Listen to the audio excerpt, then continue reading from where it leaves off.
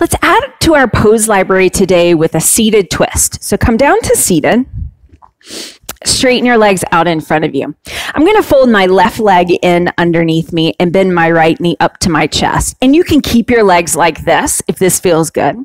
Or you can take your right foot, it's my right leg, and cross it over your left. Then sit up tall. Take your right hand back behind you, lift your chest, use your core to twist to the right.